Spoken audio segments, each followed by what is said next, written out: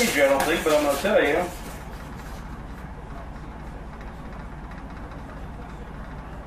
She's six feet nine inches. Okay? Six nine. If you want to, no pen. You got a pen in your pocket. Just go grab the green sheet and take it with you. Write down six nine. It's on the dashboard. You know.